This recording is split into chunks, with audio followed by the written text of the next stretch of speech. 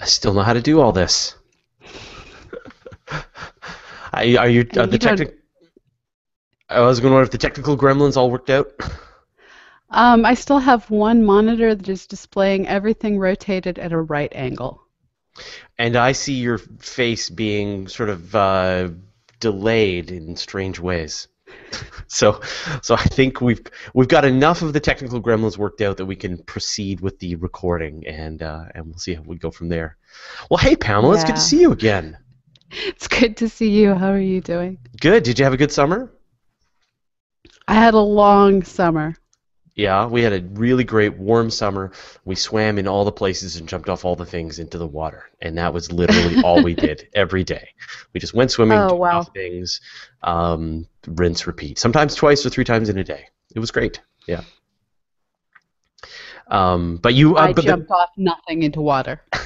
well, it's not as fun, I think, to jump into lakes and oceans. But uh, but you had a really cool trip. You did a uh, trip to uh, New Zealand.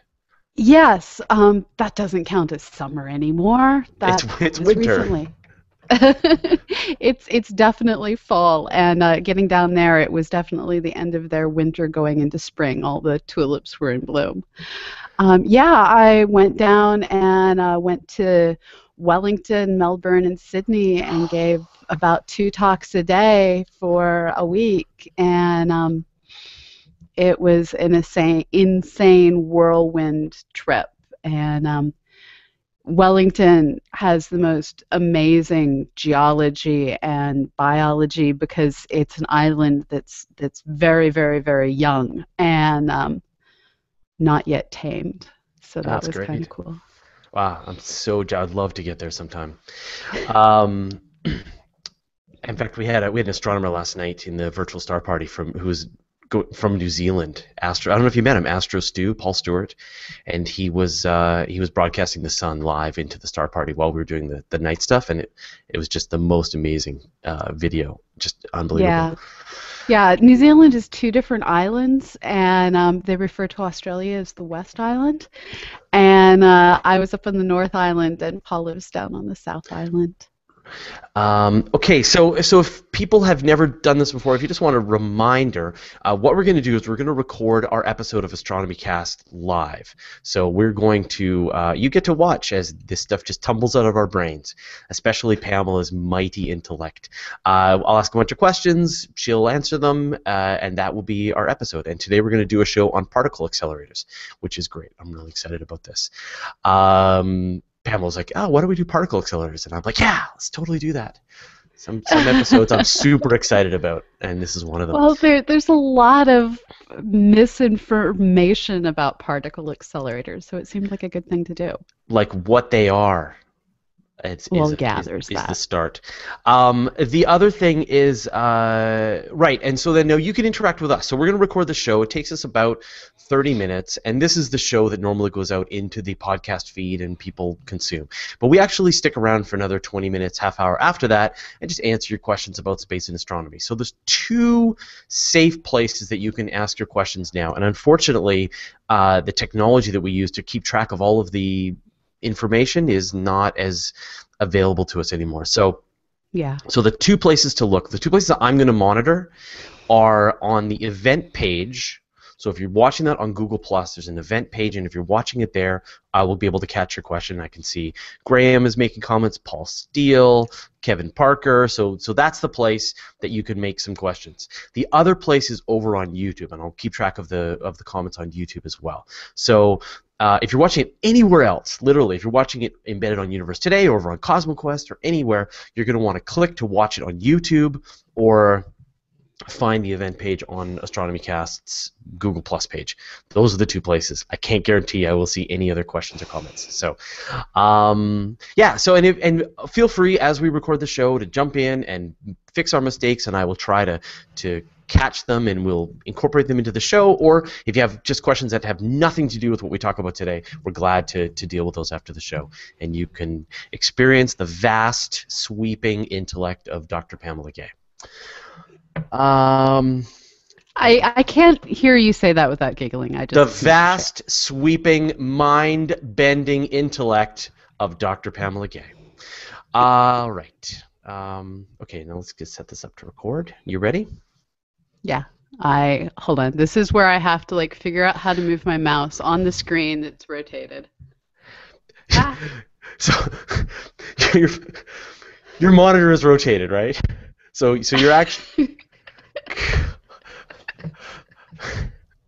that is some technology. Stop fail. laughing at me. That is that's awesome. That is a new form of technological fail. I've never had a it's, it's stuck on like you just turn your monitor sideways, prop it up, hold it out sideways. Pretty much. Stop.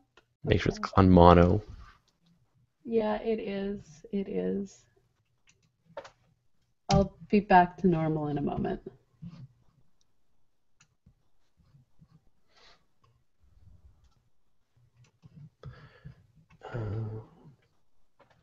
Okay, I'm ready to press record at any moment. Uh, is it on mono? Yes. Cool. All right. And now I'm not pretty. Hold on. Sorry. This is we always explain that you get this is the sausage factory thing. Okay, cool. Uh, and I can see the people over on YouTube as well. Okay, good. I'm ready to go. Let's rock it. Okay. I'm pressing record. I pressed Testing, record. testing. It's recording. I don't see my. This is not good. Hold on. Let me try again. Do I have to Testing, figure out how to testing. Okay, good. that? I got the waveforms. Good. I just didn't see any waveforms, so now I'm seeing them. So, uh, are you good? Yeah. Just keep rolling. Okay, here we go. Yeah. We'll let Preston figure this out. We're sorry, Preston. It's not. It's not fun for him unless we throw a bunch of uh, curveballs his way. All right. Okay, here goes. Astronomy Cast, episode 315, particle accelerators. Welcome to Astronomy Cast, our weekly facts-based journey through the cosmos, where we help you understand not only what we know, but how we know what we know. My name is Fraser Cain. I'm the publisher of Universe Today, and with me is Dr. Pamela Gay, a professor at Southern Illinois University, Edwardsville, and the director of CosmoQuest. Hey, Pamela, how you doing? I'm doing well. How are you doing, Fraser? Good. It's been uh, for those of you listening on the uh, podcast feed. It's been a few months since we've been recording, but now we're back to our our fall schedule. You're teaching people in the It classrooms, hasn't been a few months. It's been a month and a half. yeah, and now we're back to our fall schedule. Yes. And uh, and you've been teaching people in the you're teaching people in the class and teaching people through through the podcastings, Something like something that. like that. So good. Well, did you have a good summer? Yeah. I, I went all the places. Yeah, I know. You were in Europe. You were in New Zealand. I I feel like I didn't go. Oh, I went to the Penny Arcade Expo, and that's it. You went to I went Con. to Dragon Con. Did you every- extract any cool- audio from Dragon Con? No, it turned out that Astronomy Cast got left off of the feeds and um, off of the schedule, and um, yeah, it Oh, just well. devolved. Oh well. The no the other one I could have recorded it we'd already done, so it is what it is. It is. Usually you, you like to come back with some, some audio, but but not this year. But maybe next year. Um, okay, Yeah. cool. So let's uh, let's get rolling. Uh, so who knew that destruction could be so informative? Only by smashing particles together with more and more energy can we truly tease out the fundamental forces of nature. Join us to discover the different kinds of particle accelerators, both natural and artificial, and what questions they can help us answer. Uh, so particle accelerators. So I think we had this conversation a few years ago actually and I'm you blew my mind that I actually had no understanding of how a particle accelerator worked. And typically, you know, I'm I know a, I know a lot about the stuff that we talk about, but this was one that you were like, here's how they work, and I was like, what? No. So can you kind of get like that part where I think is just amazing? It's the core purpose of a particle accelerator, the whole you know mass, energy, energy, mass thing. So how what are they? So so th- this is where I think everyone gets confused is they're like, how is it that we're just smashing together protons and we're getting this really heavy thing out? Well, well, what's happening is you use a magnetic field in one form or another to take either one or two particles and get them accelerating so that they're moving um, as fast as you can get them moving before relativity starts to get in the way. And it's the combination of their kinetic energy and their mass coming together and, and all of it becoming pure energy during the collision um, that leads to the discovery of things like the top quark, like the Higgs boson. Um, but the awesome thing is, is that's not the only type of particle accelerator out there. That's just the sexy kind that we hear about in the news. There's particle accelerators that are used to create ion beams, to uh, burn out tumors in human bodies, to uh, create neutron sources that we can use to make heavy radioactive materials. Um, so there's all sorts of different types of, of accelerators. There's hundreds and hundreds of them on the planet Earth, and the only one anyone ever knows about is, is CERN when it's active or Fermilab when it's active, and they seem to take turns. But yeah, there are particle accelerators in, in hospitals and stuff. Yes. Yeah. So, but I think let's. I want to go back because I think you you didn't quite get there. I mean, this concept that light, that that energy and matter are are interchangeable, and that by dumping energy into these particles as you f- fire them around, you you create heavy elements out the when the collisions happen. Like what's yeah, going on there? So so so there, there's two different things that you're combining. First of all, the particle has E equals mc squared wor- worth of energy. This is its rest energy. So you're taking its mass, you're multiplying it by the speed of light squared. So that's a pretty good chunk of energy right there. Now you're then taking that exact same particle and uh, multiplying its its mass times one half because it's kinetic energy times v squared in a non-relativistic scenario. And then that uh, v squared gets even more complicated as you get closer and closer to um, the speed of light. And um, all of that energy gets combined essentially in some cases almost doubling the mass of the particles that that not the mass the energy of the particles that are colliding. And that becomes vast. And all of that energy is then in a very, very small point, and it has the option to freeze back out as matter in a variety of different ways. And it usually cascades through multiple different particles as it settles back down to, well, whatever it's going to be on the other side of the collision. So if you like you collide these particles together in these accelerators, they they have all this energy and the mass, and you know you, you always hear like you could use like a sugar cube's worth of matter would act like a nuclear bomb if you could release all that energy, right?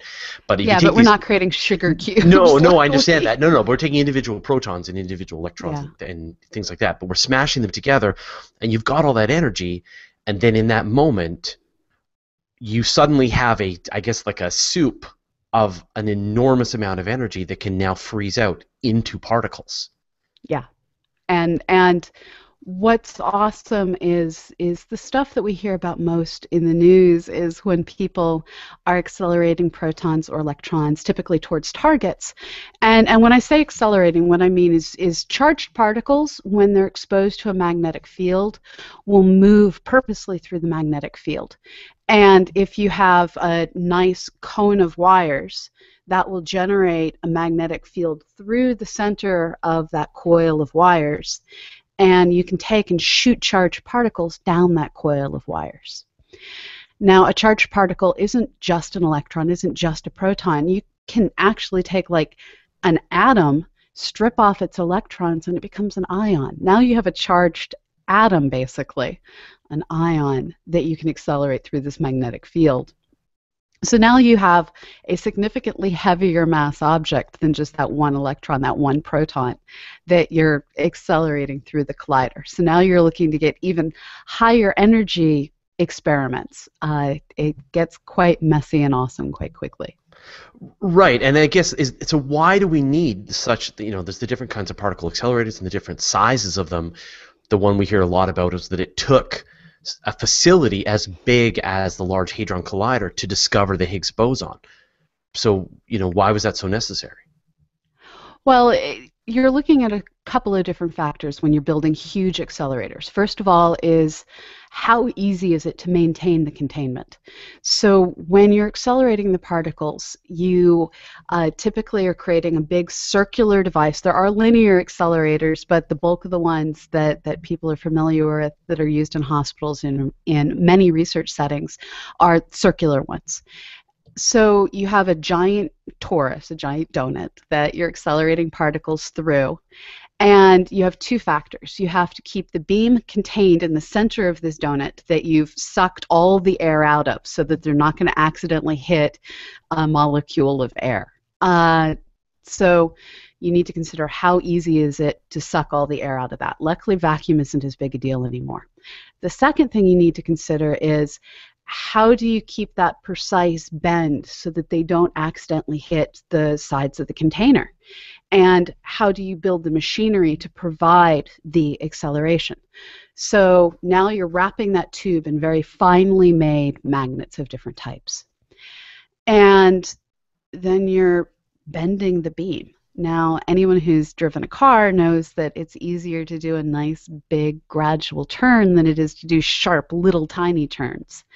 And this is also true in cyclotrons. If you're trying to keep a nice, constantly accelerating beam going, um, that nice big circle is going to be much easier to keep to keep things contained in, especially as you're approaching the speed of light. Right, and so because some of your energy is, is going to be going to just keeping it going around that curve. That that's why it's called constant acceleration. Velocity is is your motion in a given direction. The second you start changing something's velocity that that takes energy that requires that acceleration to be taking place. So you're upping both the velocity of the particle um, instantaneous velocity. You're increasing its speed constantly. Um, but you're also constantly having to steer. So these nice giant circles allow you to have that constant acceleration and to not have as hard a time building the giant machinery that you need and keeping everything tightly focused as you go faster and faster and faster and faster. And how many times? Do you know how many times these particles are going around these accelerators? I mean, are they just doing one loop and then they're smashing? No, no, they're doing many different loops. Uh, exact number is going to vary with how fast you need them to go, how how focused you need the beam, how many particles you're injecting into the beam. Um, it's not just once. It takes many times around to get all the way up to the kinetic energy that's necessary for for the explosions that they have at the end. Yeah, it's kind of mm. amazing, you know, that they are able to, to, as you say, dump in almost to the point that it has double the energy because that original E equals mc squared is such a vast number that to get more of that energy into it. And and you can even start to get more than that as you except then you have to switch to using the relativistic equations. Um, because as you go faster and faster and faster your momentum increases your effective mass increases as you're going faster from relativistic terms and your kinetic energy has relativistic terms. So now you have that vast velocity and it seems like you have significantly more mass. So now you're exceeding but you need a new equation that factor of two. It's kind of awesome. Yeah, totally.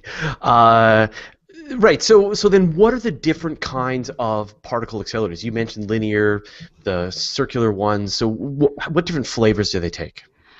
Well, the, you can look at the flavors both in terms of technology and in terms of what they do. So, if you look in terms of what they do, you have medical cyclotrons that are used to blast out tumors. You have neutron beams that are used uh, often to fire at heavier atoms at a very uh, precise rate to build these heavier and heavier atoms. This is how we end up discovering heavier atoms periodically, um, and they end up uh, announcing that they've now found unobtainium. That one isn't right. one they've actually found. But, right. But oh, I you see. Know what so, I mean. Yeah, so they've got some target atom, and they're firing a beam of neutrons at it, hoping they stick. And then when you've got you well, know and, a certain number that stick, then you're like, did it? We got a you know 108. Well, and and more than just getting the neutrons to stick, you also need them to undergo beta decay so that some of those neutrons now become protons, and now you have a heavier atom. So here you're you're replicating the conditions that you get inside of the atmospheres of stars and in some processes in supernovae that allow the heavier atoms to get built. Uh, a lot of these heavier atoms are unstable, they collapse quickly, so we don't even get to study their properties unless we are able to build them in one of these accelerators with a neutron beam. Right. Okay. Uh, and so you mentioned the different kinds of flavors, right? So we've got the the different kinds of experiments. You talked the neutron beams. You've got you're making uh, antiparticles for uh, cancer treatment. What else are they doing? Uh, so, so then you also have some of the ion accelerators that, that are smashing together together uh, heavier mass atoms and recreating the conditions inside of supernovae. So we hear all about CERN recreating the Big Bang, um, but then you have other laboratories like the National Superconducting Cyclotron Laboratory, which is the longest named of the labs, I think. Um, it's up at Michigan State University, and uh, they're uh, they're smashing together ions and recreating the conditions in supernovae to see how is it that these different uh, stellar nucleosynthesis events can take place. Uh, and then, and what is the difference between the linear and the circular ones? I mean, is it just well, it, if you think out, think about it, uh, it's it's it's size and also the potential energies involved. With a with a cyclotron, you can just keep ramping up the velocity by circling and circling and circling until you have the energy that you want in the particles. With the linear accelerator, you're kind of stuck with that one track. But linear accelerators were how we, we focused for a long time before people committed to building uh, Fermi National Lab and uh, the National Superconductor, and Brookhaven has a cyclotron. Harvard had one for a while. It's, it started out that the really big accelerators were often linear accelerators, and cyclotrons were your uh, university-sized facility. But once you started getting to, well, Fermi National Lab here in the United States, um, they they disbanded a town to put the, the facility in. So where there used to be a town, there's now a large pair of circles that are filled with buffalo. Um, and literally, Fermilab has buffalo. Yep. Uh, and and then CERN's even bigger, and it spans both the, the Swiss and French, French countrysides. Uh, so once you need to reach the sorts of energies that are achieved by these giant facilities. Um, it's hard enough to find area big enough to build the circle. Trying, imagine trying to build something linear to do that level of acceleration. You're just not going to do it. Do you remember the the plans to build the was it the superconducting super collider back in like the 80s and 90s yeah and down in texas. Yeah. Yeah that that was an, actually a very ugly situation uh, especially for the farmers involved because um, they they went down it was in waxahachie texas and uh, the government went down and used eminent domain to take away a lot of farmers' fields and um, paid them an amount that they claimed was fair market value, but none of the farmers could afford to buy land to replicate, replicate their farms, and they ended up having to find new careers. Built this huge facility that, had it been completed, would have revolutionized a lot of our understanding of particle physics. But at the point where they dug the giant hole, where they had all of the caves in place, where instruments were starting to get built at a variety of universities around the United States, there was a congressional blowback that this project has, had taken too long. Well, it turned out it was harder to build the holes than they'd thought. It turned out the equipment that they had to innovate from scratch wasn't as easy to innovate as they'd imagined. So there was congressional blowback, just like there's been with the James Webb Space Telescope and so many other major facilities. Um, and so Congress decided to close down the facility partially built, fill in the hole, canceled all of the instrument plans, uh, essentially fired all of the scientists, and then when they were done filling in the hole, they sold the land for a cost significantly higher than they'd bought it from the farmers. Sold it off to developers. So now you have no science, no farming, and a bunch of developers making money. Right. And so that was that was a tragedy at every single turn. Um, How would it have compared to to CERN, to the Large Hadron Collider? Well, it was a completely different. Uh, it, it, worked differently from the way they're working CERN with the Large Hadron Collider. This was uh, one that was going to be looking at moving heavier mass objects. And so instead of doing the proton electron, the colliding of hadrons um, that you see at, at LHC and uh, with, with the, the prior instruments they had there, um, Instead, it would have been, again, looking, from what I remember on this one, looking at uh, colliding, uh, again, the ions. Right. Uh, so then, you know, we've talked about how they, the structure and a bit about how they work. So what kinds of answers in science, and especially in our case, we're interested in astronomy, but what kinds of, right. of questions can we answer with these particle accelerators? Well, uh, depending on which one that you're looking at, it's how do I cure cancer? How do I replicate the insides of a supernova? How do I replicate the Big Bang? And uh, my favorite is is it possible to create a microscopic black hole in the laboratory? And and I think the replicating the events in a supernova is in some ways both the most mundane and the most interesting. We, we often say in astronomy, we're made of stardust. That's probably the most common stated. It's on jewelry, it's on posters, it's on inspirational, this, that, and the other thing. But it's a very easy thing to say, we're made of stardust. But let's prove it and prove it in detail. And when we look at supernovae, we see the heavy atoms in, in the clouds of dust and material around them but exactly how do you go from a normal composition star to all of these heavy atoms? Well, it's those intermediate steps that we've worked out on paper. It, even graduate students are required to figure out many of these reactions. Um, but how do we replicate it and make sure that our theories are right, make sure that our detailed understanding of particle physics is right? The awesome thing is, is for the most part, it is proving right. But then there's the open questions of, well, how did we end up in a universe that has more mass than antimatter? Where are the different asymmetries, the, the things that break down when we look at the details of particle physics? Well, it's when we make these uh, collisions, when we start creating the antimatter, we're able to figure out, oh, so this is where this symmetry breaks down, this is where this symmetry breaks down. And it helps expose, well, what's under the hood of our universe. Right. Well, so like, what would one of those experiments look like? Like, if you're trying to replicate a supernova without right. an actual supernova, what would that experiment look like? So, so you have several different processes that you're worried about with supernovae.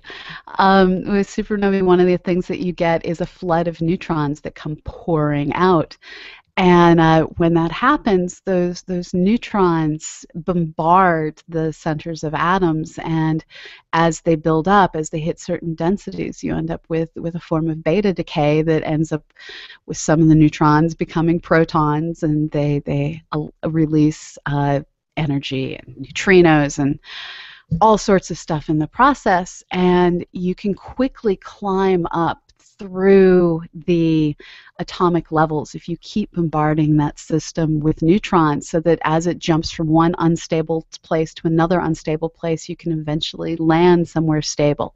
There are amazing science maps uh, that show this band of stability in the the isotopes. And as you go up the center, it, it's a, a, a, graph of number of protons, number of neutrons, and so you start down at uh, 1 1, and then you just build your way up, and you can follow this line of stability. And in a really good one of these isotopic maps, it will show you what are called the rapid process and the slow process, the R process and S process element formation paths that just show the various decay rates and growth rates that, that occur through beta decay and inverse beta decay. And so you can try to replicate those different conditions and see if things pop out in the way that you're expecting. Exactly, exactly. And and it allows you to get an experimental hold on things like what is the half-life of this or that. Trying to understand how long something lasts for mathematics is is not exactly um, it's just easier to build the thing sometimes. Now, one thing that one of the big mysteries that I know sort of we've been talking about, and, and it hasn't, you know, it's only been partly solved since we even started the show, seven years now, is dark matter. So how does how do particle accelerators help us with dark matter? That that one's uh, uh, less straightforward. So so one of the things that they do do is try and create neutrino beams with some of these accelerators. There's uh, a facility down in Italy that has sent neutrino beams up towards experiments at CERN, not the collider experiments at CERN, but detectors at CERN, um, looking to see if they can uh, measure the oscillation of neutrinos as they go from tau and muon and electron back and forth and so on in their different flavors of neutrinoness. Um, there's hopes that with with dark energy, um, With the similar matter? types of. Uh, you said dark energy. Oh, did you? I? I said dark matter. Yes. Oh, I heard okay. dark energy. I can answer that one far better. Sorry, Preston, you're going to have to cop- cut this out. Can you ask your question again so I can answer the correct one? Sure. And then do you want to do the dark energy one as well? Yeah. Okay, cool. All right. Sorry, So- audience. So one of the things that we've been dealing with since even we started Astronomy Cast was this idea of dark matter, and still kind of a bit of a mystery. But I know particle accelerators have been have been brought into this search for dark matter. and and it's going to be interesting in the next few years as they try to push the the large hadron collider to higher and higher energies. There's super symmetry theories theories that many if not all of the particles we've discovered so far have um, a partner a supersymmetric part- particle that's their partner. And these these sister particles some of them are projected to be what we now perceive or, or observe as dark matter. Particles that uh, don't really interact via the electromagnetic force that don't stick together but do quite politely uh, interact via gravity uh, creating microlensing uh, creating um, acceleration of galaxies that are orbiting of stars that are orbiting in galaxies so we have to find these particles with these strange sets of, of interactions. And neutrinos have a lot of these characteristics, but they don't exist in high enough numbers to, to be all of the projected uh, dark matter that we're seeing. So with particle accelerators, what they're hoping is as they push to higher and higher energies in that um, chaos of forming particles that comes out of that high density um, region of energy, some of the lowest mass dark matter particles, um, lowest mass supersymmetry particles, they're hoping they're the exact same thing, uh, will get formed and we'll be able to go, aha, I got it in the laboratory. Uh, they're also using large uh, basically the same detectors they use for neutrinos to, to look for dark matter. And it's hoped that um, they'll perhaps be able to find some of these as they look for the flickering interactions that indicate that one of these mysterious particles has had one of its extraordinarily rare interactions with uh, one of the forms of heavy water or other fluids that they use in these neutrino detectors. Right. So I guess you've got the two ways, right? The one option is you just have this big detector and just hope to find natural dark matter particles, or you generate them in the in the particle accelerator and then try to see if you're if you're catching them. So we talked about dark matter. What about dark energy? Are there ways that we can use particle accelerators to find dark energy? that that one starts to get much more challenging. We're we're still trying to figure this out. We're still trying to understand what the heck is dark energy. And, and part of getting at it is understanding better how it is that particles form, how they change. Uh, one of the experiments that's getting done is um, there's a, a, lab in Italy that's generating a, a neutrino beam that they're shooting up towards one of the instruments at CERN, and they're looking to try and measure how do the flavors of neutrinos change over time. How do they go back and forth between muon, tau, and electron flavors or of neutrinoness? Uh, there's similar experiments in North America. And, and as we try and understand more and more about these different types of interactions, theorists are working to try and understand how is it that, um, well, we know that energy is constantly turning into virtual particles, and those virtual particles are turning back again into energy. And one of the thoughts for dark energy is maybe somewhere in this there's there's energy released that it, everything isn't properly conserved, and people are trying to to understand all of these pieces through accelerators. They are also building telescopes where they're trying to look at what's happening in the earliest moments of the universe. It's a completely different discussion. Um, Yeah. so we're doing everything from trying harder to understand particle physics to trying harder to understand the formation of our universe. Where we're going to find the answer to dark energy, uh, I don't think there's even a gambler willing to pick up that bet. Right. I love this idea that you just take your neutron beam and you just aim it in the general direction of CERN, and it goes right Yeah, through the yeah. Earth and reaches the detector. You don't need to build a tube or anything because the neutrinos just don't even care. Um, I, so and nuclear power plants, you can tell whether they're on or offline by the neutrinos you're receiving. Right. Um, so the last thing I think is really interesting. Well, we talked about. Well, uh, there's two that I want to talk about. I'm running out of time, but but one is creating these these black holes, which you you mentioned briefly. Like, Yes. whoa, well, how does that work? Yeah. Well, so what is a black hole? It's uh, extraordinarily dense mass. It doesn't matter that you have a lot of mass. What matters is the density of the mass. Can you stand on the surface of that mass and have to go greater than the speed of light to escape the gravitational pull of that mass? And so it's theoretically possible to create mo- microscopic sized black holes by just slamming things together with a beam that is tight enough and an energy density that's high enough that well, you meet those criteria for forming a black hole. Now, if you're able to do this, one of two things is going to happen. That sucker is either going to just quite haphazardly sink down to the center of the gravitational well that is the planet Earth. It will oscillate for a while as it works to get there. Um, happily, happily passing through the bulk of all of the atoms on the planet. It will maybe eat like I, I ran the numbers a few years ago, Yeah. and it was uh, just a negligible number of atoms, such that a couple grams will be eaten before the sun starts to destroy our planet. So this is not a concern if this happens. Yeah. But the more interesting thing that could happen is it could evaporate. Its event horizon would be so small that it's it's evaporating faster than it can consume energy from normal ki- conditions. And if that microscopic black hole is able to um, evaporate in the flash of light that's predicted, then Stephen Hawking finally gets his Nobel Prize, which I think would make a lot of people happy.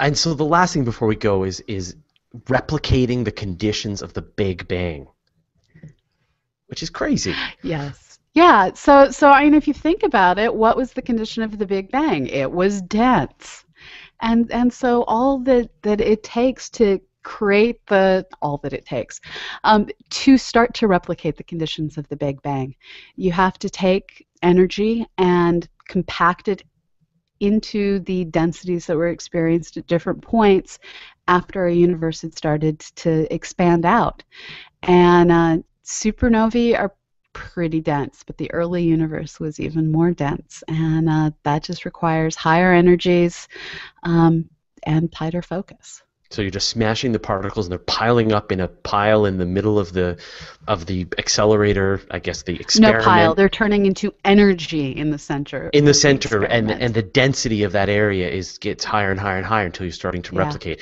and i know um, i was doing a little research on this that the in the lhc they got into the trillions of degrees yeah, for, for yeah, one of their and- experiments And and what I love is as you start talking about particle physics, when they discuss the mass of things, they stop using normal units and start discussing the amount of energy that's contained in something instead.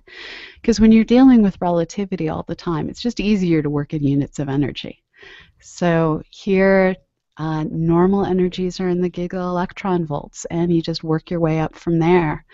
Uh, tera electron volts is is now not too uncommon for these giant research colliders. what will be next peta Peta. electron volts yeah yeah Yeah. um, it's crazy cool well uh, well thank you very much pamela that was awesome and it's great to have you back It's it's good to have you back as well. We both took turns not Totally. being here this time. all right we'll see you later Okay, see you later.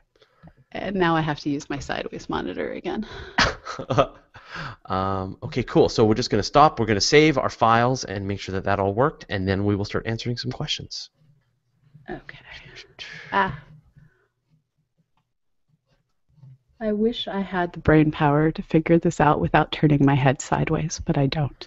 Can you turn your monitor sideways? How about you just No. don't even look and I will just read the questions out to you? no, I'm good. Ah, Okay. No, I'm not. Okay. Um, okay, so questions, questions, questions. Let's see. Um, I wonder if I can pull these questions into the comment thing because there's a really cool way that I can highlight them. I can only highlight the YouTube ones, I think. Let me see if this works. Um, okay, yeah, so this will work. Okay. I apologize. Uh, The tutorial video makes it look so easy. It's so easy to do this now. Um, right. So someone asked, and I, I apologize, and I'll dig up the name as I ask the question. Uh, how do they get single things? So you know this idea of like taking a single Filtering. proton or single electron and then firing that down the down the accelerator so that it smashes into something. What is that? I mean, how do you get one atom of a thing? uh, so so it it's different forms of filtering. Uh, you you have your magnetic field set uh, in different ways so that if something doesn't have the precise exact velocity, it ends up getting bent into a completely different direction. And so in the end, you end up with only the electrons that have the exact precise velocity you want. And um, if you start with a low enough power, you end up with essentially one electron. Now, the reality is they are generally dealing with a beam of electrons, a beam of protons, but they use filtering to get it down to exactly what they want. Uh, Just like filtering the sun, just different, use magnetic fields. but the fact that they know that they've got just one particle, but they're often like firing streams of them in a Yeah. Calculated way. They're not just like plucking out like with their little magnetic tweezers, grabbing one particle and that's the one they're working with today. You you can you can get it to one electron, especially if you're doing research on interferometry. You want to be able to do things like that, um, and it's it's the type of thing that is annoying but not that difficult to do. You you take an atom, um, you excite it to the ionization level of the electron. Electron pops up. You now have an electron. Happy electron. Uh, okay, so um, M. by Shival asks, uh, now that the Higgs boson has been found, do you think that we'll find any other new things in the near future? It depends on if supersymmetry is right or not. Um, if supersymmetry is correct, then we are nearing being able to start revealing a whole new family of particles, things that currently only exist in diagrams and books as possible things. Um, if we do find those, Steven Weinberg gets another Nobel Prize. Um, we're, we're starting to hit the age of Nobel Prizes in particle physics um, if we keep finding things. How, we did a show on supersymmetry. Uh, has your thinking changed on that matter since we did that show? Um, I I still am kind of dubious about it, but it's the only reason to keep firing these things. So let's let's keep looking um, until we disprove the theory. It's it's completely fine for me in an absolute lack of evidence to say I I'm not sure supersymmetry is necessary for the universe. Um, but that's a personal opinion, not based on facts. It is not reason to shut down amazing research facilities um, that will observationally say with data whether supersymmetry exists or not. So we need to look, even if my gut says, yeah, probably not. Uh, so here's a question. science. right. Uh, here's a question from YouTube. Check this out. I can make this go. Uh, so how close to the speed of light are we going to be accelerating these particles? We actually didn't mention that in the in the show. That, how, how fast are they the- going? It, it depends on depends? the mass of the particle. So, so the issue is the heavier the particle starts out, the more energy is required to get it going faster and faster and faster. So, at a certain point, you start hitting the limits of how much energy you can inject into the particle. Um, so, for the lightest weight stuff, you start going at I, I want to say you start getting close to 90% the speed of light, but that is memory speaking. Well, here, hold on. Uh, um, Jose Gonzal- Gonzalez says has given some numbers here. Let me just, I'll put that up. Okay. So they acquired 99.9% of the speed of light, and it takes 90 microseconds to travel one revolution around the LHC. Okay. Okay, so that's with LHC. Yeah. Um, as when they're accelerating instead ions that are much more massive, you're not going to get anywhere near that fast.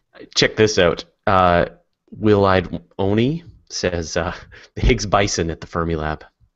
So remember yes, you mentioned the bison I, there? I'm- Yes, I, I, I think we do need to call them that. The Higgs What's, bison. what's so frustrating is um, it now looks like had they just pushed Fermi to go to some higher energies, they might have been able to get the Higgs boson at Fermi first, because there is not significant enough data from the last experiments they did with Tevatron. So Uh, it could have been the Higgs boson.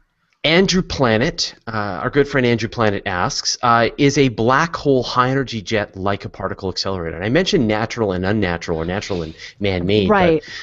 But, but uh, we didn't go into some of the natural ones. But yeah, it is, right? So it, it's sort of. Um, it's not that the jet is the particle accelerator. It's that it's the accelerated particles. So you have with a black hole in many cases a, a disk of disk of material surrounding it, an accretion disk, and that disk of material is extremely hot, so it becomes charged particles. Moving charged particles create a magnetic field. So in this case, you have um, a circling disk of charged particles.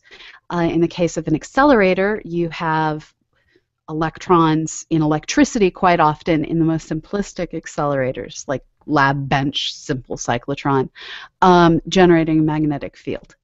Uh, so just like that disk of electrons in your very simplistic cyclotron can generate a magnetic field that accelerates particles inside the cyclotron, in a um, accretion disk, you have a disk instead of a donut of uh, circling electrons that generate jets coming out either end instead of a donut of particles going in a circle. Uh, Tom Nath, our other good friend Tom Nath, Nath, Nath, you have to tell me, Tom, how to describe it. Uh, what happens to the excess unused particles? So, you know, you, you fire up this big beam and you you fill it with particles and you're firing them down towards the target, and then are there you know are there leftover particles both in the creation point or just you know that they have what to deal with? to the aftermath? yeah, do they have to decelerate them? What do they do? Do they all just disappear? Uh, so so they they fire together a a pulse of particles. It's not like they fill the entire um, cyclotron with a solid beam that wraps all the way around. They'll have a spatially separated out pulse of particles, a little stream, not a whole thing filled with stream. And that way they actually only have to turn on the magnets in the set of in the area of the accelerator that the particles are in. Um, and so this small beam, um, not giant streaming beam, but this small segment of particles, all of it goes into the detector. Now they do have holding rings. So if you look at aerial photos of CERN, Fermilab, they're double rings. And um, they can use one ring as a holding zone at a lower velocity and then inject it into the bigger ring to get to the final velocity and then slam into the detector. Oh, Um, really once the once the slamming goes on inside of the detector, um, with with some of the detectors, they're surrounded with uh, photomultiplier tubes to detect the particles coming off. In other cases, they have webs of fiber optics that are capable of trapping the particles as they flow through. There's a myriad of different ways to detect all the different energy things that come flying out uh, so that you can track what is the mass and energy of what went this way, what is the mass and energy of what went that way, um, what are the um, velocities, and it's it's by figuring out essentially what are the momentums of each of the different particles that they're able to piece together what was it that the particles were. So it's kind of like when you think about uh, when uh, archaeologists are dealing with a dig, and you're like, "What do you do with all the excess stuff?" Well, there is no excess stuff. They they are interested in every single bone fragment, piece of uh, you know chip pottery and paint fleck Yeah. that they find because it's all used to to get to the bottom of this mystery. Um, and and everything that gets created for the most part is unstable and self-annihilates very quickly as nothing more than energy that's flowing Right. away into the rest of the universe. It cleans up after itself. You don't have to worry about it. Yes, it does. Uh, Occasionally, Mary, it destroys things. Mary Bradley asks if uh, what is the difference between an accelerator and a cyclotron? Um, a cyclotron is a kind of accelerator. And it's the so, circular. so we talk. Yeah, so we have synchrotron, synchrotron, the, a word I can't say, which is why I avoided it in the show. Synchrotron accelerators and cyclotron accelerators, and they simply use magnetic fields in a different way to accelerate the particles, but they're both types of accelerators. Right. So someone says we've got a cyclotron here at the hospital. That means they've got a circle circular accelerator. Yes. Okay. Um, William Keller says that this one made my brain ache. Sorry, William. Uh, Hopefully, it ached in a good way. Um, so uh, Hugo Burnham brought in some additional information that the the community of Weston voted to disband itself as part of Yes, getting the, true. the Fermi Lab in. And so you use the word disband, which sounds like that's like something quite sort of evil done to the town, but actually they Yeah, but the town council did it to the people who live in the town. yeah. So at some point somebody was probably not happy with having their their town taken apart for a particle accelerator, but they voted on it. Yes. Um, let's see. Uh, Thomas uh, Traniker. Uh, well, this is sort of a conversation, but I guess the gist is: Do you make the particles radioactive when you accelerate them? Does, do, where does the radiation come from? So, so well, radiation is a, a tricky word because many different things get referred to as radia- radiation. So, for instance, when people start talking about alpha particles, that's just a helium atom that's moving really darn fast with special characteristics. Um, so, you, we don't normally think of helium as being radioactive, but if you strip it and you fling it hard enough, it, it gets destructive when it hits things. Um, gamma rays are talked about as being a form of radiation, but those are just photons of light that have an extraordinarily high energy. We also talk about atoms that um, are unstable and undergo forms of either beta decay or inverse beta decay, which leads to neutrinos and high energy particles being given off as being radioactive. Um, we talk uh, about beta particles. Um, all of these different things that we worry about, those are just nu- neutrons. Um, the the reason they get called radiation is because of how they interact with the world around them, how they generate X-rays, how they um, blast things apart, how they destroy DNA. Because these are energetic things that break molecules apart, and we're made of molecules. Um, so when we talk about accelerators, uh, when you're replicating the insides of a supernova to create heavier and heavier atoms that aren't stable, those are radioactive particles.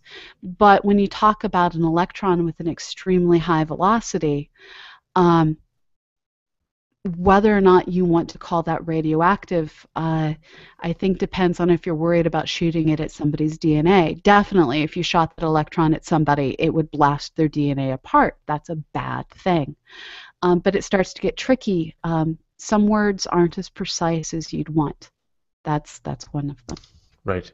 Uh, so a couple more questions here. We'll do one more here. Uh, Sophie Molzen asks, uh, can you make gold atoms in a particle accelerator? yes, alchemy is real and true. Um, the amount of energy, the amount of energy, the cost of the amount of energy um, makes this not a um, process you want to do considering you'd be building it an atom at a time and probably overshooting and making other things periodically. Um, yeah, don't don't do it. It's possible, but don't go there. But that, but you know, for example, if we want to make uh, antimatter as for our future spaceship, that might be the way it's going to have to happen is building it up one atom at a time, one one and and this is antiparticle why at a time. inter, interstellar travel is is energy prohibitive. I mean, as it is, we're we're almost out of um, the nuclear materials. The the I believe it's plutonium that gets used in um, radiothermal generators, like the the one that's on Mars Curiosity, yeah. and um, that's all material that's built up inside of accelerators. Um, have you? So Hudson Ansley asks, what do you think about the recently demonstrated electron accelerator on a chip? I don't. know. I haven't heard about that. Have you heard about that? Don't No, I don't haven't. electrons move at the speed of light? Anyway, we'll have to look No. into this. No, electrons do not move at the speed of light. Mm. Photons move at the speed of light. Photon, Electrons have mass. Right. Electrons okay. have mass, therefore they can't go that fast. Um, electricity moves at the speed of light, and electricity is transferred by electrons. Anyway, um, well, I think I think we're good. Uh, there's a couple more questions here. Um, oh, and uh, but definitely check out the comments over on uh, on YouTube because Jose uh, Gonzalez uh, has been answering questions, just uh, everyone's questions. It's fantastic. I, so he's got he That's clearly awesome. knows his particle acceleration uh, information physics. So it's great to see some some questions there. So uh, cool. Okay, well let's uh, let's wrap this up. So again, uh, great show, Pamela. Thank you very much, and uh, we'll see everybody. And thanks everyone for watching, and we'll see you all uh, all next week. The next, what's the next thing that's happening on the on the various shows? Um, we Learning have Space? Learning Space on Wednesday. I think Learning Space on Wednesday, and then the Weekly Space Hangout on Friday. Sweet. Okay, and what time does it does it start on Wednesday? It starts at 6 p.m. Central, 4 p.m. Pacific, 7 Eastern, uh, midnight London. Any topic? Do you know what the topic is this week? No, I have to admit I don't. okay, no problem. Nicole it's Nicole Gugliucci's baby. Yeah, yeah. Okay, cool. All right. Well, thanks again, and we'll see everyone uh, next week. Sounds good. Bye bye.